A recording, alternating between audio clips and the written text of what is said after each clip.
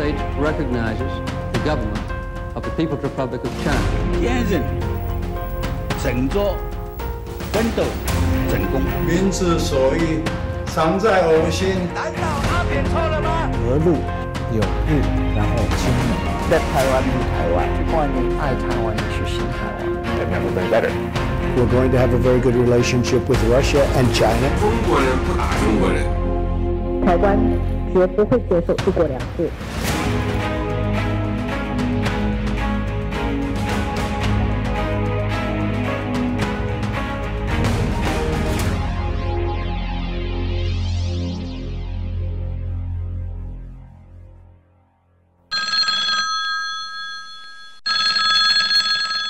一九七八年十二月十五号深夜的一通电话，改变了台湾的命运。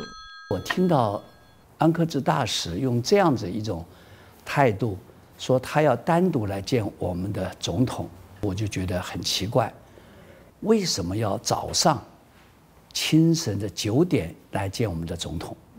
我有一点点特殊的一种感觉，是不是那一件？宋楚瑜从新店飞车赶到七海关底，通过森严的警卫叫醒值班的医官，然后穿过起居室，来到蒋经国的床边。这时已经过了凌晨，他鼓起勇气打开了床头灯。经国先生，这个睡眼，这个秘密的在问什么事？我报告总统，我并不清楚。不过显然。好像有一些很特殊的状况，他必须晚上来。过程当中特别强调，就是这件事情到目前为止，只有少数，连华盛顿少数的决策几位知道之外，其他人都不知道这件事情。当时只有几个人知道：总统卡特、副总统 Mandel、国务卿 Cyrus Vance。国防部长 Brown，还有第五个就是 Brzezinski，Brzezinski，连在国务院主管我们的费浩伟 Harvey Feldman，他是十二月十五号早上到办公室去，他泡杯咖啡啊，准备要开始坐下来办公了，那个时候他才知道，那天晚上卡特要举行几次招待会，要宣布跟我们断交，跟中中共建交。Good evening.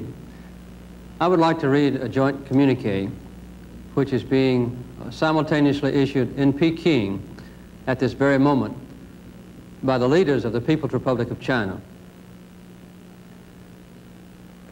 A joint communique on the establishment of diplomatic relations between the United States of America and the People's Republic of China, January 1st, 1979. A lot of people in the State Department were against it. So we never sent a dispatch uh, to our representative in China uh, from the State Department. All of them went from the White House to China and back to the White House instead of we just bypassed the State and Department. no one knew?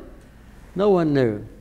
And uh, of course, the Secretary of State knew, and Dr. Brzezinski knew, and a few of us, but it was very close to held secret. And uh, the big altercation was about what to do with. 根据美国二零一三年解密的外交档案，国务院原本建议卡特总统提早通知台湾， 但担心美国国会介入而决定保密，导致蒋经国只有不到七个小时的时间因应变局，但也因此激怒了国会，为台湾关系法的诞生埋下伏笔。I got a call from Holbrook at the time to come to the White House. and that we're making an announcement. That was one hour before the announcement was made. I was very angry that uh, Carter uh, took this role on his own uh, before notifying us. And we've worked for years uh, on doing this, and here Carter comes along and disregards Congress and makes the announcement on his own. It was totally disconcerting to all of us, whether people uh, were uh, pro Taiwanese or were pro China. In our strategy, one of the questions was when did we inform Taiwan that we were going to break relations with them? And the way the papers were written we had to give them three weeks advance notice. But that was hopelessly unrealistic because within three weeks they could have gotten congressional support to not go ahead. Uh, so uh, we ended up giving him last minute uh, uh information that we were going to break, break relations. And that caused Congress to be very angry. Uh, but it was unavoidable. Uh, if we'd given them earlier advance notice, it wouldn't have, um, we probably wouldn't have been able to complete the process. 事实上，卡特被建议早两天给我们通知，但是卡特 不许。他说：“台湾对于我们的国会工作太好了，如果有两天的时间，他们一定在国会整我，我不要。所以最后一分钟再告诉他们。”根据美国国务院后来解密的外交档案，卡特政府当时与中共谈判建交之所以保密到家，除了担心美国国会介入之外，也非常担心台湾可能被迫采取的反制手段，包括打苏联牌、发展核武、宣布独立，或是干脆与中共和谈统一。美国国安会一九七七年的一份备忘录更指出，台湾可能在两年到四年之内进行核爆试验。尽管蒋经国曾明确告知美国不会发展核武。但美方仍要求台湾以书面形式做出保证。国家安全问题也是讨论的。我在一九七五年这个呃一月一号开始上班，我四月一号就碰到跟马康卫大使，他提到要从台湾把核子武器撤走这些事情之外，其中最呃让我。这个印象深刻的事情是，那时候蒋经国先生还担任行政院的这个院长。经国先生啊，非常明确的告诉了这个美国的大使安克志，明确的告诉他说，我们中华民国不会做这个原子弹。不会做，不是说不晓得怎么做，我们有能力可以做，但是我们不会去制造原子弹，而且很明确的跟安可兹大使表达我们这个立场，我们会做，但是我做了以后，我也不能用，因为蒋经国先生说。我不会拿核子武器去杀害我自己的同胞。至于当时两岸和谈的可能性，中共在一九七九年一月一号美中正式建交当天发表告台湾同胞书，以和平统一的说法取代解放台湾，并宣布停止炮击金门。但蒋经国以不接触、不谈判、不妥协的三不政策回应他，并向美国媒体表示。与中共谈判是自杀行为。我要再度在顶断铁的忠告国人：我们绝不与共飞后代，否则就是自取灭亡。摆放在蒋经国办公室的这个“忍”字，反映的不只是他的心境，也是台湾当时的处境。前夫回忆那天晚上，蒋经国反复逼问安克志。美国曾经要求中共声明不以武力解决台湾问题，中共难道答应了吗？I think we've achieved normalization with due regard for the well-being of the people on Taiwan. I fully expect, and I'm confident about, there'll be there too an evolutionary process over time, but there will not be any military force used against the island. 事实上是使得他们双方曾经犹豫过。建交前面稍微耽误一点时间的原因，美方说希望你保证不用武力对台湾， 大陆是我不可能不用武力，啊，结果就变成说美方希望 expect 啊，大陆啊不用武力来解决台湾问题，啊，这个后来台湾关系法里面有说，这个武力的使用和威胁是美国的 grave concern。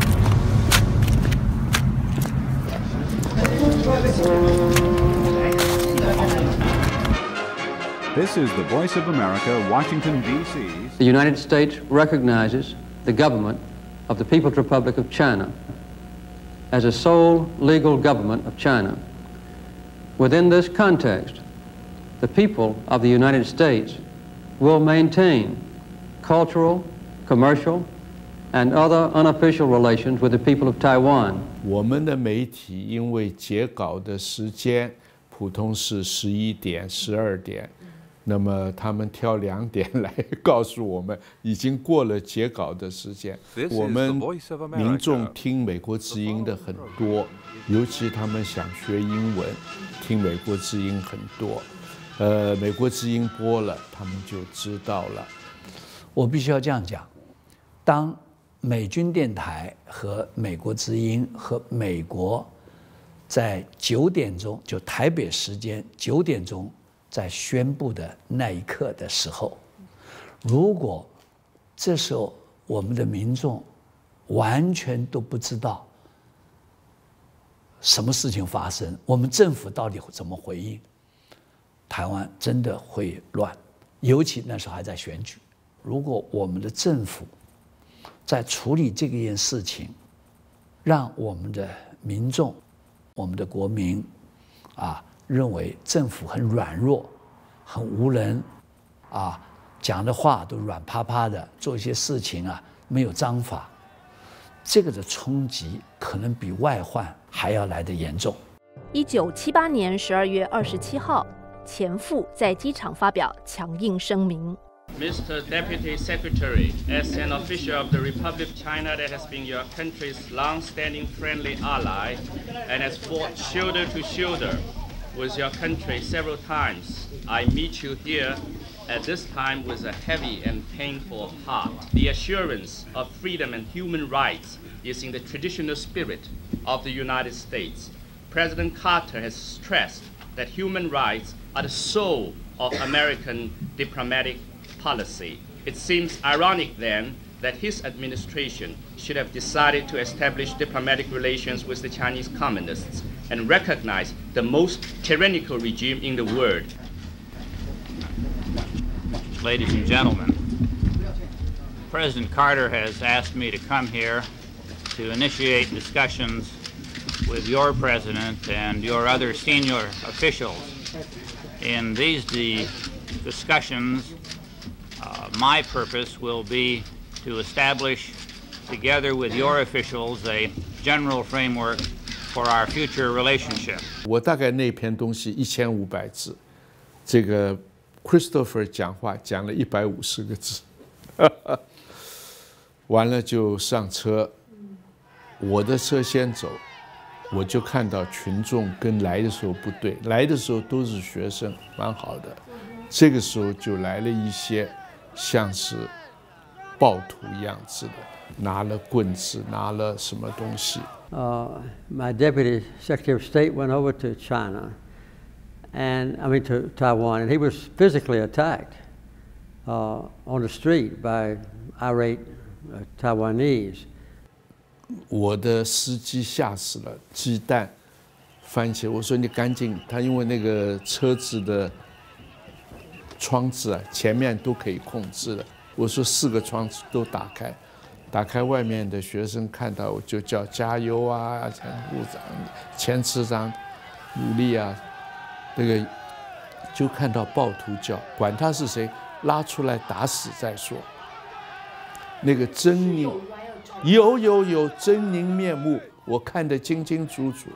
所以第二天早上，蒋经国先生要我把这个警总总司令。宪兵司令、警政署长叫去，我就跟他们讲：“我说你们当场有没有照相？没有。我说你们一定要查，学生是有人发动的，我知道一定是党部发动的。至于那个插进来的暴徒怎么回事？有组织的，有组织的，他们告诉我说。”是你那一天下午从中立，有十多辆计程车，带了番茄、鸡蛋、竹棍和这个什么，往台北去。那么，Christopher 受惊，这个安科志坐在左边受伤，眼睛旁边被查。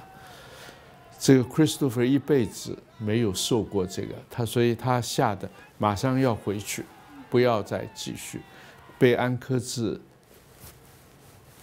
pacify 让他。后来十八二十八号早上，先见了金国先生，保证他的安全，才坐下来谈判。这个美国大使在电话里面非常非常歇斯底里的说：“James，他对我客气的时候叫 James，你晓得吗？那些 rioters 就是那些暴民，他用的是 rioters。他说，他那些暴民拿着竹竿把玻璃敲破，啊，你晓得？我看他们眼睛里面都有血，有血丝的意思啊，啊，这个 blood in the eyes，他他向他们来袭击。”我说：“大使先生，你必须要了解，美国无预警的跟我们中华民国断交。你现在晓得，你现在被这些人来抗议的 demonstrators 来向你抗议的时候，你觉得你的人生的安全受到威胁？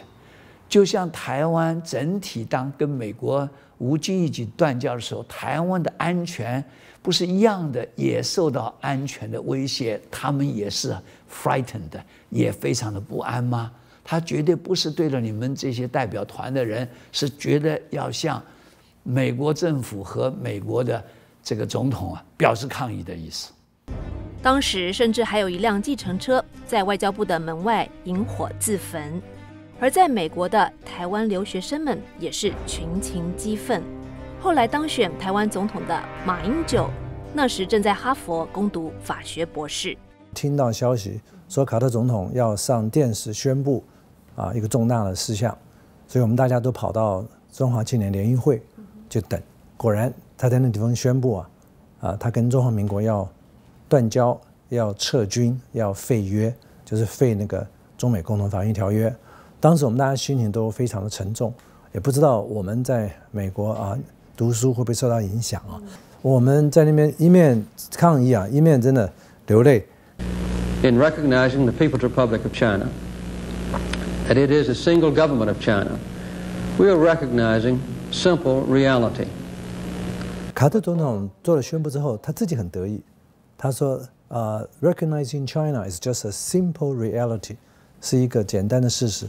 可是我们中华民国的存在也是一个简单的事实啊。”我们就以这个主张。和马英九一样，就读于哈佛法学院，同样也是受孔杰荣教授指导的吕秀莲，则是在断交前就回到台湾，从事反对运动。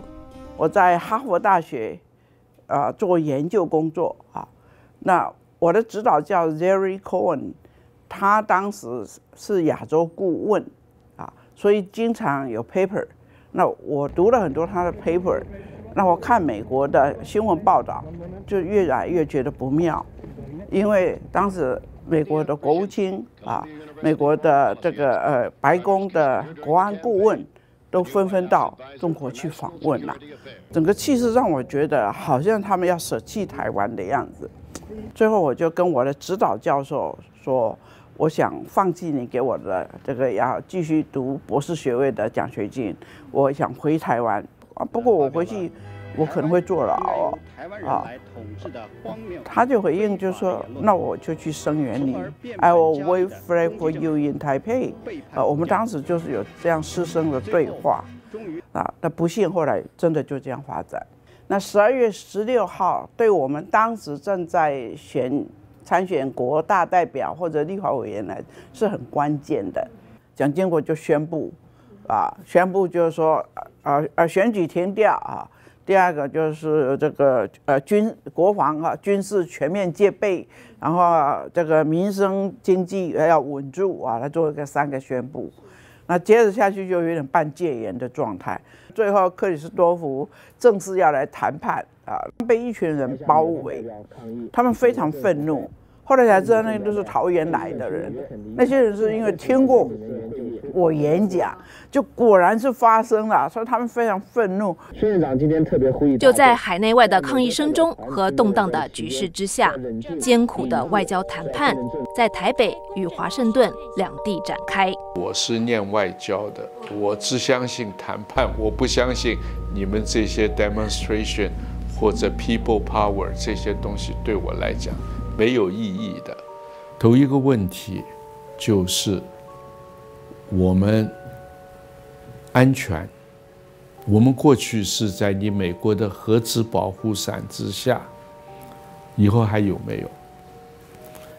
两方面关系的性质，嗯，呃，成立代表处或者是办事处名称、数字、待遇等等，这个谈了谈了很久。我们有军售，让我们有这个防卫性的武器，而且有共同防御条约。如果人家来打我们，美国会来帮忙。还有没有？这个名字啊，将来代表机构的名字，拖了好久啊。我们提的名称，美方说 no，换了 no。他说：“这个我们现在都不能答复。这个美国政府怎么可以这样子？卡特政府怎么可能会这样子？所以整个那个谈判不是谈判，是 monologue，都是我一个人在发问，发各种各样的问题，答不出来。哇！虽然坐在对面的是我多年的老友，但是为了自己国家利益。”啊，都站在自己国家政府的立场，想办法来争取维护。一九七九年一月二十九号，邓小平选在农历大年初一到美国进行正式访问。I think the secret to the quick uh, acceptance of a new Chinese-U.S. relationship by the American public was due entirely to the character and the good humor and the you know, down to earth nature of Deng Xiaoping. He was an instant hit with people in Washington, D.C., and then the rest of the world through the news media. Uh, he wore a cowboy hat in Texas, and he went visit Atlanta at my request. And so I think that uh, that, that was uh, that his personal characteristic of a good-natured, down-to-earth, honest dealing guy uh, came across to the American public as okay China must be all right instead of evil people like we thought before. 但当时也有美国民众加入抗议的行列，提醒各界看清邓小平旋风背后的红色中国。邓小平到华府来访问的时候，我们在华府举行非常大的一个抗议活动。我是从波士顿到纽约，在纽约吃了一个早饭，然后再赶到华盛顿，这个车程差不多有八个小时嘛，八个小时还不算长的呢。我刚刚讲嘛，有从芝加哥来的，甚至有从 Wisconsin 来的，他们包游览车一开就是二十几个小时，大家都这个呃义无反顾，牺牲睡眠，牺牲工作，就是要表达一个抗议的声音。邓小平一月三十号以整天的时间走访国会山庄，与八十五名参议员和四十名众议员参叙，希望就美国对台军售一事进行游说。I was one of the hosts. We held a meeting with them. he wanted to have uh, more of a, a determination of how we were to act in the future. Uh, one of the things that I put into the debate was the fact that regarding our arms sales uh, to Taiwan, that China should have no role in making that determination. They uh, strongly objected uh, to anything like that. They felt that the question of arms sales should they should have a role in determining what are known as defensive equipment. But we said no. We make that determination. The Congress and the President. 邓小平访美结束后，隔天，美国参院外交委员会开始就卡特政府提交的台湾综合法案举行听证会，一出讲情、讲理、讲法的大戏在国会上演。美国三大电视台均大幅报道，公共电视网全程实况转播。When the Carter administration then provided its own draft legislation, the Taiwan Enabling Act, uh, it was immediately rejected by Congress because they felt that it was uh, uh, woefully inadequate to um, address U.S. interests vis-a-vis Taiwan. 然后那个时候呢，呃，因为他做这个决定的时候，正好在国会休会的时候，所以把国会激怒了。 国会议员看到他送来那个法案，叫做《台湾授权法》（Taiwan Enabling Act），内容空洞，对台湾的保障非常的不够，所以把它改头换面。那在参议院呢，也进行了很多次的辩论啊。克里斯托弗和安克志出席作证，质询的参议员包括保守派的高华德、自由派的肯尼迪和中间派的多尔。高华德甚至到最高法院告卡特违宪。Uh, I was uh, uh, later on a, a trip to actually to Taiwan and among other areas of my concern. And uh, he sent me, Carter and uh, Holbrook sent me a telegram uh, saying that I should not go. and I, in other words, to stop my visit to Taiwan. If I had not made that trip against Carter's wishes, there may have been a whole chain of relationship between the United States and Taiwan. I think they were reassured, which was most important, that they were not being abandoned. Uh, a book that I wrote about the legislative history of the Taiwan Relations Act, I dedicated to my wife that we had been to Taiwan many times and Taiwan was a friend.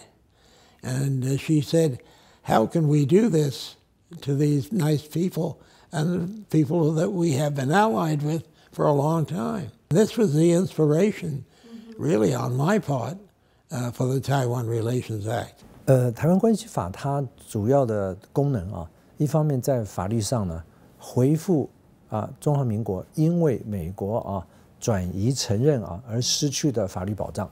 比如说，他就很大胆的认定中华民国，他当时叫我们台湾了。在美国法律上，或者是美国法院中，都具有外国或者外国政府的地位，这是一个石破天惊的条文。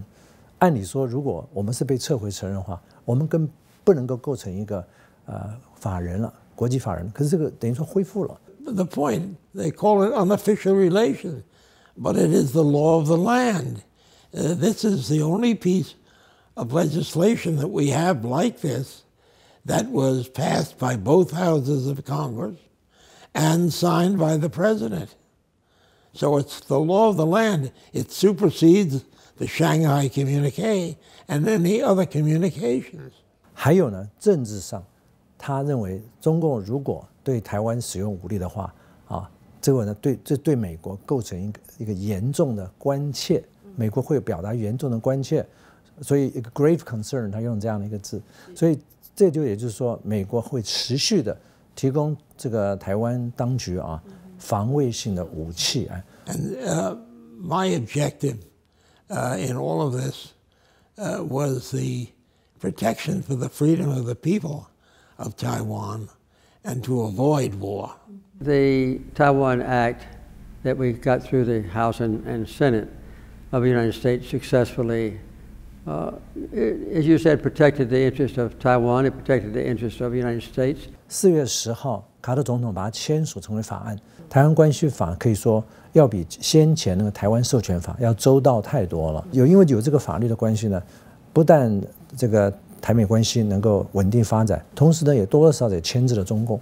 根据美国国务院二零一三年解密的档案，邓小平曾向美国副总统蒙代尔抱怨。台湾关系法让蒋经国的尾巴都翘起来了，成为美中建交后第一起不愉快的外交事件。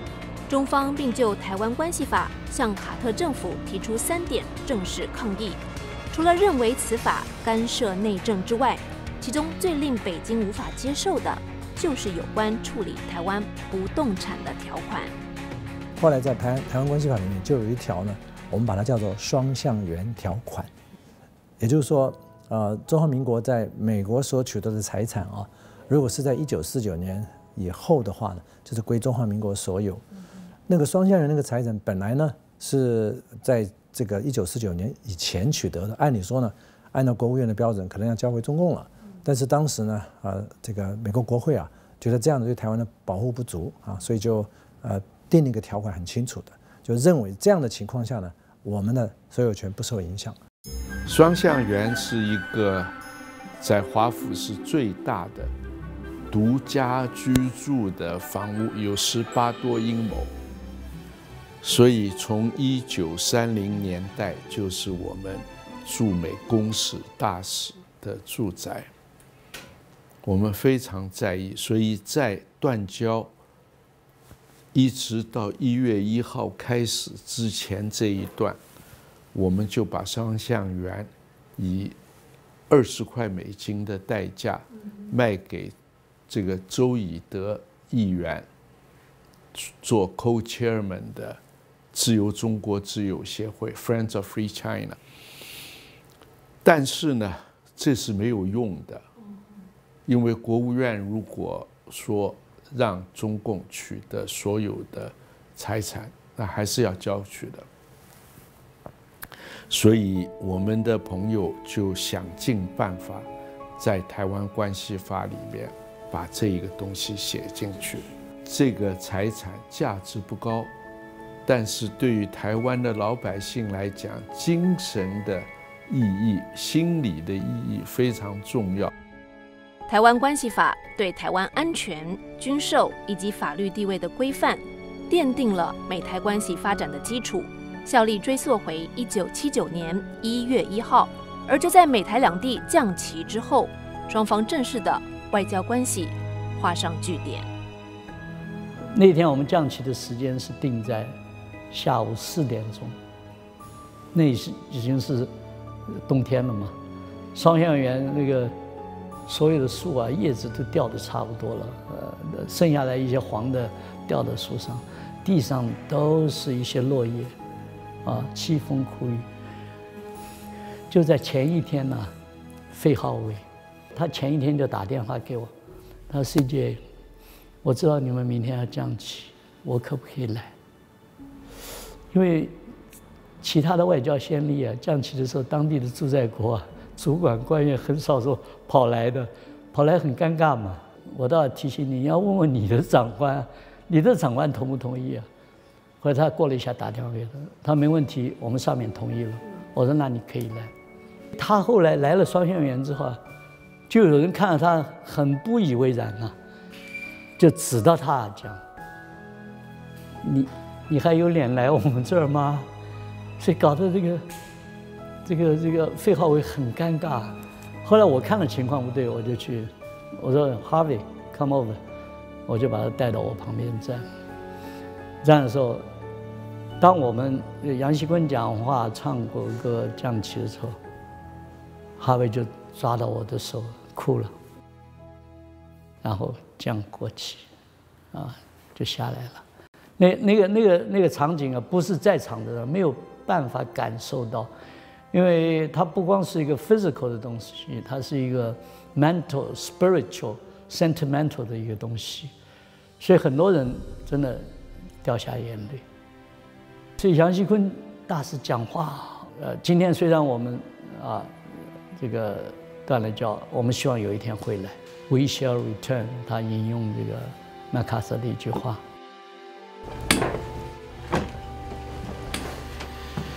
MacArthur called Taiwan an unsinkable aircraft carrier.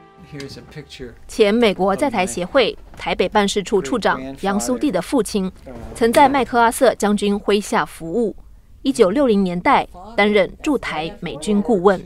杨苏棣回忆年少时，父亲在高雄执行协防台湾的任务。Mao Zedong was still quite militant. Uh, uh, they used to shell the islands, you know, uh, uh the Matsu and Jinmen Islands, uh, and uh, there were clashes in the in the Taiwan Straits. As I say, we used to bike to Tsoying all the time, and mm-hmm. Tsoying is the Navy base, as you yes. know. I remember one day we were told you need to go down to the harbor there because uh, something has happened. So we went on our bikes, and there was a Taiwan destroyer in the harbor mm-hmm. that had been in a fight with PR, PLA uh, torpedo boats, and it had big holes in the side of it like this. Mm-hmm. My father was a U.S. Army lieutenant colonel, and he said, "Well, we were trying to make sure that they were ready to fight a defensive war if they mm-hmm. were attacked." But we were also concerned that after the disaster of the Great Leap Forward, Chiang Kai-shek might be tempted to launch a counter invasion of China. Guangfu Dalu! Guangfu Dalu! So what they would do is they would be alert to any possibility that the KMT Army was practicing amphibious landings. 断交之后，美军第七舰队在台湾的分遣队撤出。一九八八年，前总统蒋而随着蒋经国去世，反攻大陆的口号也走入历史。而美国与台湾则是依照《台湾关系法》，由美国在台协会与北美事务协调委员会继续所谓的非官方关系。TRA also created the American Institute in Taiwan, which uh, serves as uh, sort of a, a de facto embassy for the United States in Taiwan. When I went out to Taiwan, I had to formally resign from the Foreign Service, even though I was being paid by the U.S. government. It's a, a fictitious uh, relationship. Uh, it's a fictitious uh, operation. We could not meet government officials in their offices. Um, if we had a meeting, we had to go to a restaurant or a tea house or something, and it, it was so um, artificially cautious. In retrospect, that would have been foolish, and we should have just said we won't make that choice. The whole question of a one China policy is something that's uh, a figment. We have a policy of one China. We deal with the China. We also have a policy of dealing with Taiwan. That's the Taiwan Relations Act. Having informal relations with Taiwan doesn't mean we need to be rude. We can be we can treat them with respect and we can treat them as our as our good colleagues even if our relationship is informal. 回头想想，这四十年是对的，真的是 incremental，一步一步，台美关系在改善。一九九四年， 北美事务协调委员会驻美办事处改名为驻美台北经济文化代表处。二零一一年，双向园第一次举行双十国庆酒会，美台之间的外交限制逐步松绑。二零一八年，特朗普总统签署《台湾旅行法》，促进双方高层互访，美台关系更上一层楼。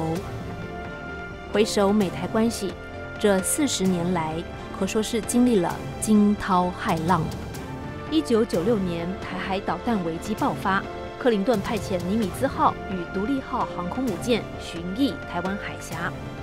去我去可能九月选举，迄个中国中共拍飞弹来修理，要修理台湾嘛，对不对？有这个代志本身，所以啊，美国啊，煞尾就是派航空母舰按日本的约约克斯啊，航空母舰来台湾啊，修理中国，中国才才掂去啊，对不对？啊，迄阵阵我足强啦安尼，吼，你你中央对台湾有啥物法度，对不对？我我我发声，吼，反对中国的飞弹，根本咧拢假假爆的，假搞的。两千年，陈水扁与吕秀莲当选，台湾完成首次政党轮替。当然，伫两千年阿扁啊要来参选总统，迄当时中国的总理朱镕基嘛伫选前三天来讲，支持台独没有好下场。谁要是搞台湾独立，你就没有好下场。安尼文攻武赫，武的来，文的也来，但是呢，后边啊，甲咱李前总统拢总无受到中国因素的影响，拢总有这个机会来当选台湾的 民选第一位甲第二位的总统。 We went to ABNs and they were just so excited, tens of thousands of people, and we were there when it was clear that he had won. and People were just going crazy because it was the first time you had a Taiwanese president. 所以尾啊，台湾会当来戒毒戒严，开放党禁，开放报禁， 会当国会全面改选省市长的民选，到最后总统会当直接由人民来投票选出。低头至尾，拢总有美国的因素，所以台湾的民主化是美国政府安尼难倒卡手，若要讲一句较俗语的话，就是做善事。两千年，台湾完成首次政党轮替。然而，陈水扁在两千零二年提出“一边一国”，导致美台关系陷入紧张。咱台湾是一个主权独立的国家。简单讲，台湾甲对方的中国一边一国，都要分好清楚。二零零五年，北京提出反分裂国家法，有意借此与美国的《台湾关系法》分庭抗礼。草案规定，台独分裂势力以任何名义、任何方式造成台湾从中国分裂出去的事实，或者发生将会导致台湾从中国分裂出去的重大事变，或者和平统一的条件完全丧失，国家得采取非和平方式及其他必要措施，捍卫国家主权和领土完整。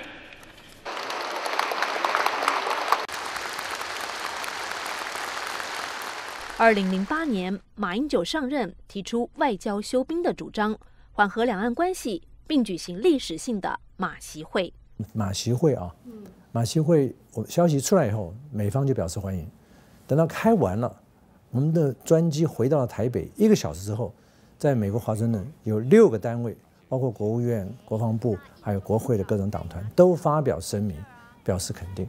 在这以前是没办法想象的，对不对？我们好像以前都是敌人嘛，我选择美国就要跟大陆为敌，我选择大陆就要跟美国为敌。可是我们在这里做到说，我们跟大陆这个进行最高层次的会晤的时候，美方反而表示支持，而且我们是在开会前差不多将近呃五天，跟大陆最后一次谈判的时候啊，最后的时候大家相互提醒对方，我们要跟老美打个招呼哦。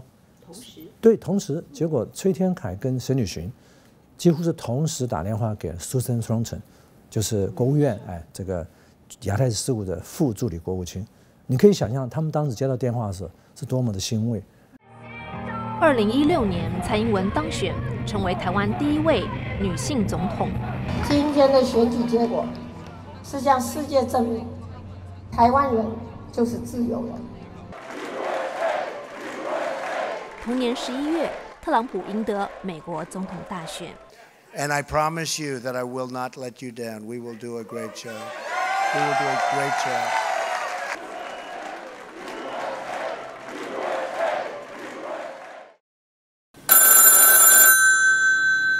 二零一六年十二月二号，特朗普接获蔡英文的祝贺电话。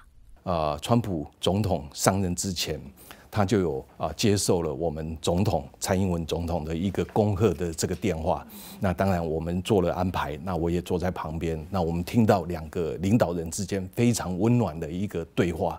I took a call. I heard the call was coming probably an hour or two before. It was a very nice call. Short. 呃，当时的电话大约是十分钟左右，那彼此啊互相啊针对区域的形势啊交换意见。那当然最啊让我们高兴的就是说，我们可以跟啊美国总统当选人去跟他恭贺。那川普总统他是非常的高兴，那他也去啊形容他当时的啊整个选战的过程等等的哈。I don't want China dictating to me, and this was a call put into me. I didn't make the call, and it was a call, very short call, saying congratulations, sir, on the victory. And why should some other nation be able to say I can't take a call? I think it actually would have been very disrespectful, to be honest with you, not taking it. 那啊，双方也认为说啊，台湾跟美国之间也是立具于共同的这个价值、 共同的利益啊，所以接下来好彼此也要推动更好的台美关系。那我想这个都是让大家很兴奋的一件事情。I fully understand the one China policy, but I don't know why we have to be bound by a one China policy unless we make a deal with China, having to do with other things, including trade.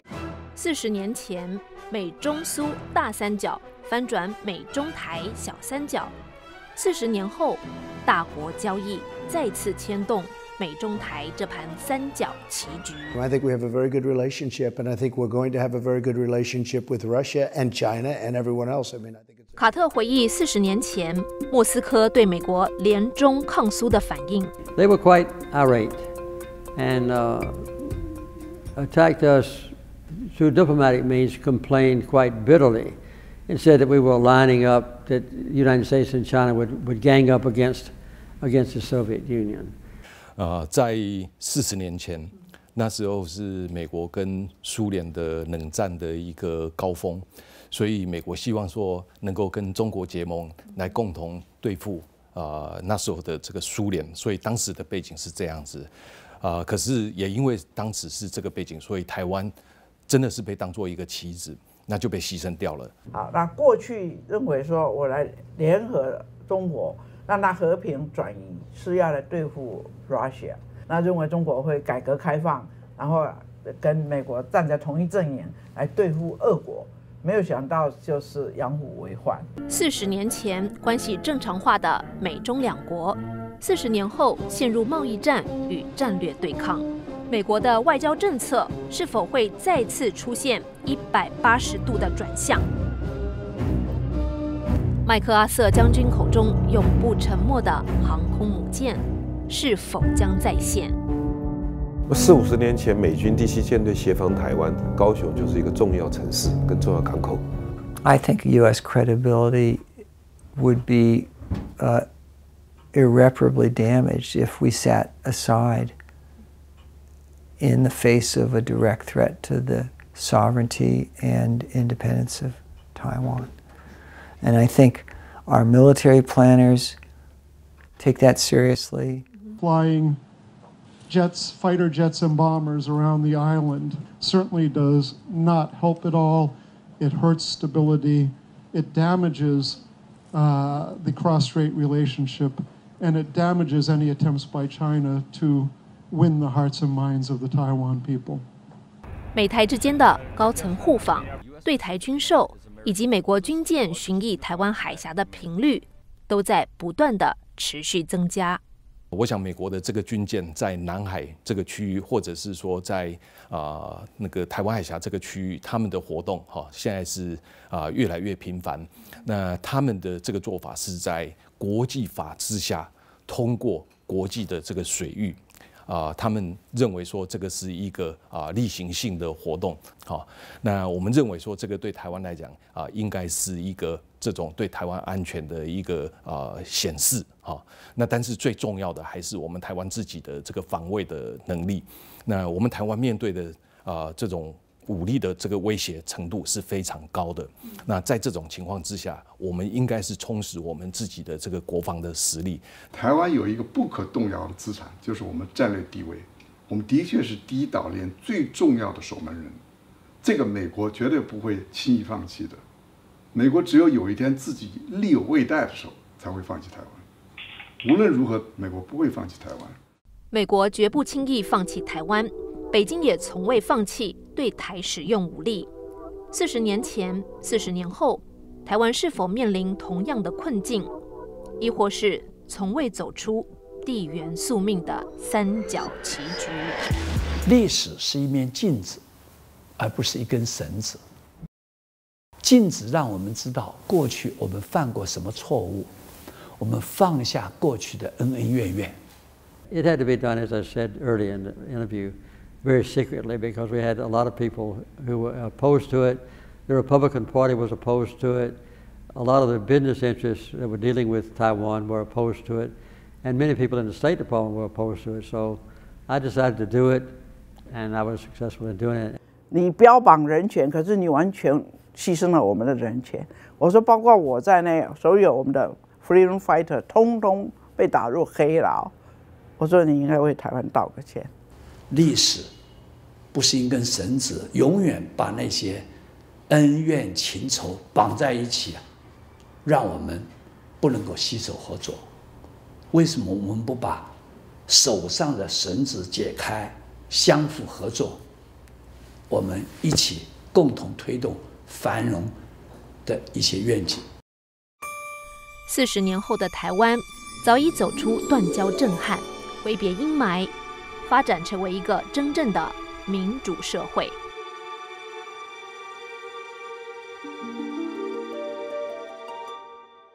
While our administration will continue to respect our One China policy, as reflected in the three joint communiques and the Taiwan Relations Act, America will always believe that Taiwan's embrace of democracy shows a better path for all the Chinese people.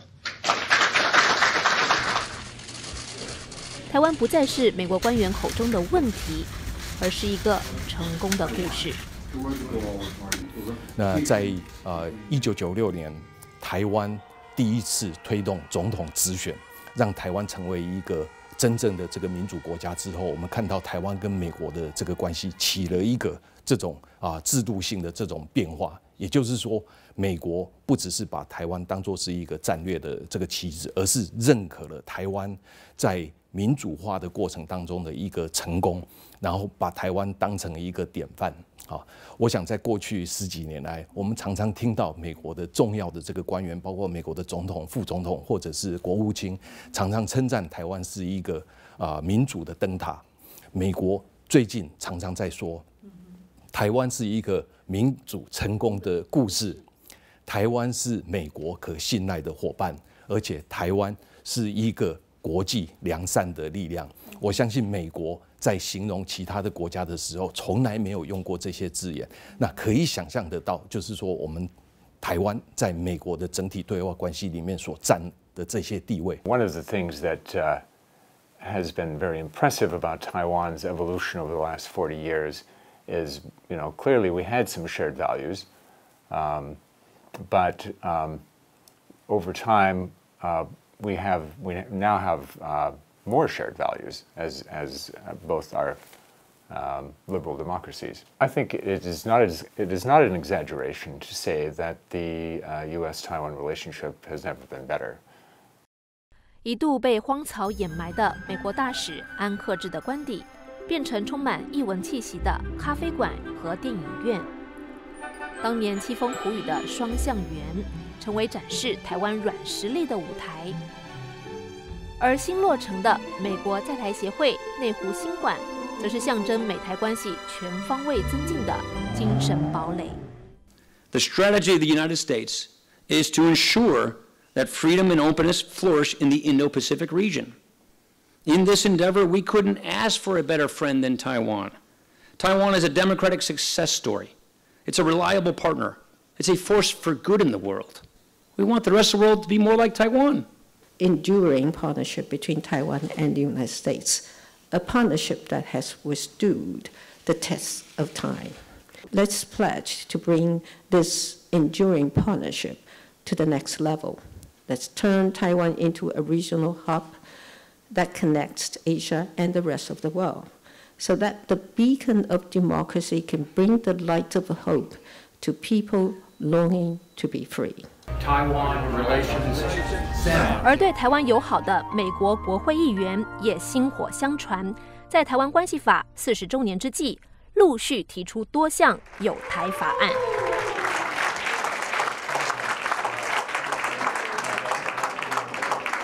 Forty years have proven that we have reached the objective, and it is still our relationship continues to exist, and hopefully it will continue to exist for 40 more years.